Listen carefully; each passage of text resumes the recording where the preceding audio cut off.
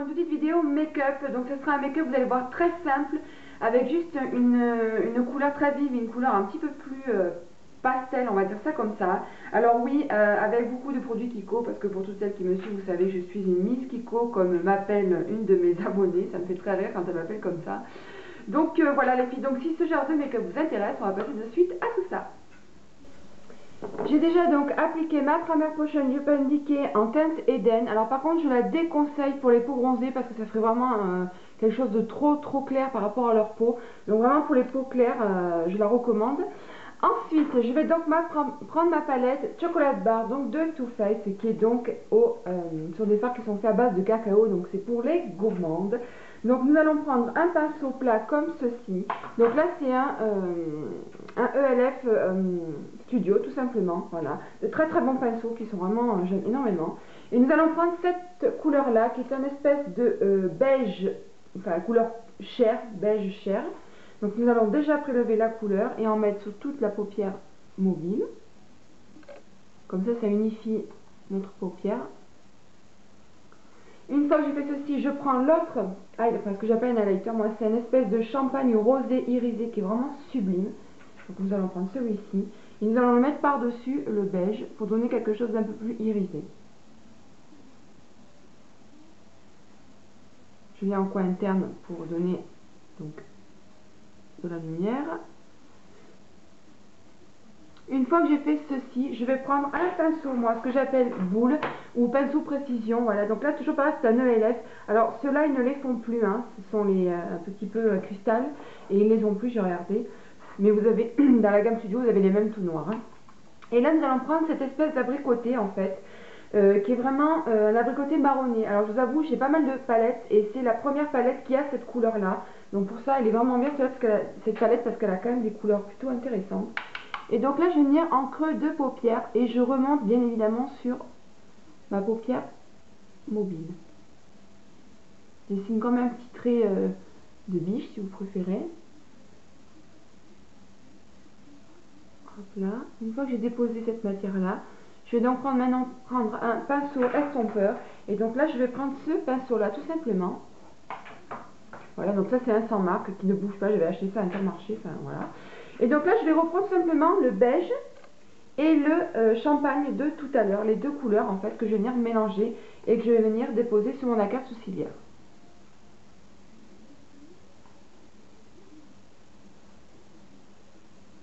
Voilà, au niveau des fards, on a terminé euh, pour la paupière donc euh, euh, mobile. maintenant, nous allons donc venir en rat donc du bas, rat du bas, je vais vouloir prendre un corail. Alors, j'avais hésité avec mon color infaillible, mais j'ai préféré prendre un Kiko parce que je peux, donc les water eyeshadow, je peux les mouiller, donc il y a plus d'intensité. Donc, comme je vous disais, euh, le euh, Water Eyeshadow Graffiti, donc, euh, je viens juste de mettre un coup d'angle dedans pour les ouvrir parce que c'est vraiment galère pour les ouvrir. Voilà, donc je suis un peu vénère. Bon, c'est pas grave, on va donc prendre le 218. Et donc, j'ai préalablement mouillé mon Sephora, donc mon crayon plat qui est vraiment très très bien. Donc, je vais venir prélever la couleur, je vais venir le déposer en racine du bas.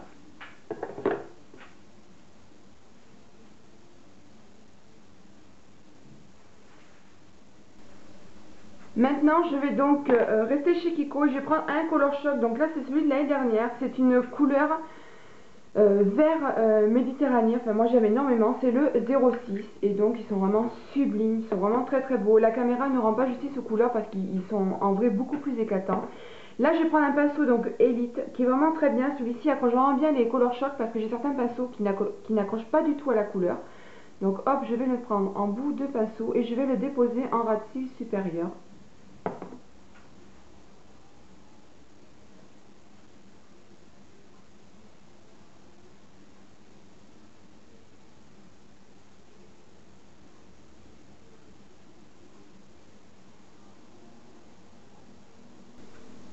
Une que j'ai fait ceci, je vais prendre donc un, crayon noir. Donc là, c'est le Scandalize, le col cajal, qui est vraiment très bien, qui ne s'use pas trop vite, qui est vraiment bien. Il tient plutôt pas mal en muqueuse. C'est un des premiers euh, crayons noirs qui tient en muqueuse. Euh, donc je vais venir le déposer en ras de cils du haut et en muqueuse du bas. Et là, je reste bien en ras de cils.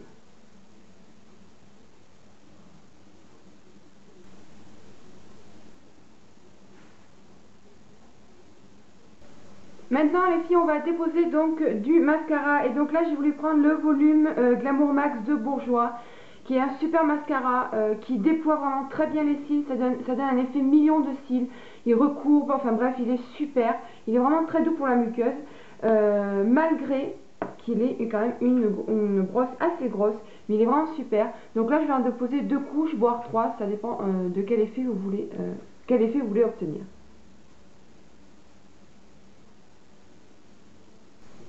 Donc là maintenant, les filles, une fois qu'on a terminé de maquiller les yeux, une chose que je fais tout le temps maintenant, euh, donc avant j'ai déposé quand même mon anti-cerne bien évidemment, et donc là maintenant je vais euh, mettre la touche magique de L'Oréal, l'accord parfait. C'est une, euh, c'est un, comment je pourrais vous dire? Ça illumine le regard, ça défatigue les yeux, enfin bref moi j'aime énormément ce produit, je ne m'en passe plus. Donc étant donné que moi j'ai quand même une peau très claire et que cette année, c'est pas cette année que je vais encore bronzer parce que je ne me suis pas mis au soleil, et puis je vous avoue qu'en vieillissant, j'ai de moins en moins envie de bronzer. donc du coup, euh, je reste dans les teintes plutôt claires, mais dans les teintes de jaune. Et donc moi c'est le N345, le Natural Beige que j'ai pris et qui me va vraiment très très bien. Euh, il suffit de prendre une demi-teinte en dessous de la nôtre euh, pour donner donc un, éclat au regard. Donc je tourne et donc là je viens en mettre sur le bout de mon doigt, vous voyez c'est comme ça. Et donc là je viens tapoter les filles tout ce qui est anti-cerne, éliminateur pour les dessous des yeux, ça se tapote. Sinon, ça ne sert à rien d'en mettre. C'est comme si euh, vous n'en mettez pas. Voilà, donc si vous voulez vraiment de l'efficacité au niveau du produit, vous tapotez. Il n'y a pas de secret. Alors c'est très dur parce que moi au début j'avais beaucoup de mal à tapoter, j'étais allée. Et pour bien faire, il faudrait prendre l'annulaire. Bon moi j'ai un petit peu de mal à, ce niveau-là. Et voilà, donc il faut la tapoter. Voilà, et vous voyez, je trouve que ça fait... Alors j'espère que vous allez bien voir, parce que comme moi je filme le matin, parce qu'après l'après-midi euh, c'est un petit peu plus sombre dans mon appart, donc j'espère que vous allez bien pouvoir voir, mais ça réveille vraiment le regard, ça défatigue vraiment les yeux, et euh, j'aime énormément cet accord parfait donc de L'Oréal. Donc maintenant les filles, on va passer donc au blush. Juste avant, euh, j'ai fait mes sourcils, et je vous dis pas avec quoi, parce que je vais vous faire une vidéo là-dessus, et parce que j'ai trouvé un truc super sympa, j'étais pas du tout... j'étais pas du tout, euh, comment vous dire, emballée par la chose. J'ai voulu tester et en fait je suis super contente. Mais ça je vous en parlerai dans une autre vidéo spéciale. Donc là au niveau du blush, j'ai voulu mettre un, blush un petit peu coraillé. Donc je vous le montre parce que c'est pour toutes celles qui l'ont quand même. C'est un Kiko de l'année dernière, c'est le Sun Bronzing Blush. C'est le sang euh, Marine Coral qui est donc tout simplement un corail mat. Donc je tenais à vous dire les filles que dans la collection euh, Life in Rio, la dernière qu'ils ont fait pour cet été là, euh, ils sont similaires hein, à ceux de l'année dernière. Donc si vous voulez un corail, il y en a un autre de corail qui existe et qui est vraiment complètement euh, similaire. Donc là je prends aussi un kabuki donc de LS que j'aime énormément et donc je vais venir le déposer sur mes joues en remontant.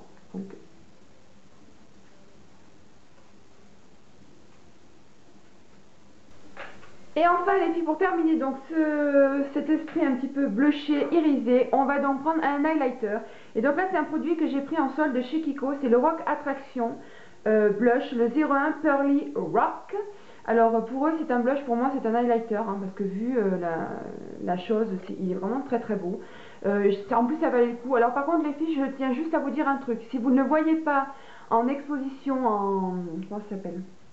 En exposition pour essayer, pour swatcher, Demandez-le parce que moi c'est ce qui s'est passé dans mon Kiko, elle ne l'avait pas en expo et en fait je lui ai demandé si elle l'avait et elle est allée me le chercher derrière le magasin. Donc ça aurait été dommage de passer à côté d'un highlighter pareil parce qu'il est super sympa et c'est un highlighter qui tape un tout petit peu vers les rosés mais alors c'est léger, hein. c'est vraiment histoire de donner une couleur à un highlighter.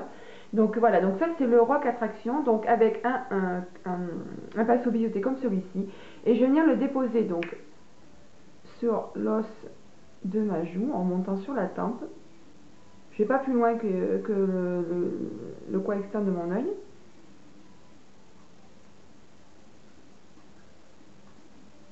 Voilà. Et je viens donc avec le doigt en mettre sur l'âge de Cupidon pour donner un petit peu de volume à une lèvre un peu plus dessinée. Et enfin, du haut du rouge à lèvres, donc j'ai voulu rester encore dans le corail parce que j'aime énormément le corail. Euh, et donc là j'avais vu ça sur une vidéo, alors c'est une française, elle a des cheveux magnifiques, euh, c'est Adriane, euh, je sais plus trop quoi, je sais plus. Et elle avait présenté des rouges à lèvres de Kiko, donc cette gamme là, donc je vous marquerai ce que c'est parce que je crois que c'est de stylo, mais j'en suis pas sûre. Et là c'est les 04, c'est une espèce de rose corail qui est vraiment très sympa. Alors ça tient énormément, quand vous les mettez c'est très crémeux, ça brille, mais après ça devient mat. Alors je tiens à le signaler parce que on pourrait croire qu'il reste brillant, mais non. Euh, voilà, donc euh, vraiment ils accrochent vraiment très très bien. Après hier quand je l'ai mis, il avait un petit peu euh, craquelé sur mes lèvres. Alors je sais pas, je retente un petit peu le coup, voir que ça donne réellement. Et donc je vous en dirai des nouvelles dans mes produits favoris ou non. Mais en tout cas, je suis très contente au premier abord. Donc on va venir donc appliquer ce corail là sur les lèvres.